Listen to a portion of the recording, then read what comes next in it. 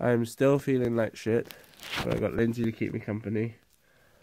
So uh, I I uh, don't know how much the video is going to go into today. Folding and washing, washing the Yogscast, folding and washing, washing the Yogscast. I've decided not to go to the quiz today because I'm not feeling 100%. Instead, I'm skyping Lynsey and playing Minecraft. Uh, more specifically, we're playing, trying to play the survival games. We gave up on Minecraft, so now Lynsey and I are just looking at photoshops of Sjin. Doctor Sjin. So, um, uh, fairly brief day. Not much to say, not much to do. I spent most of the day in front of this machine, talking to Lynsey, which I'm not complaining about.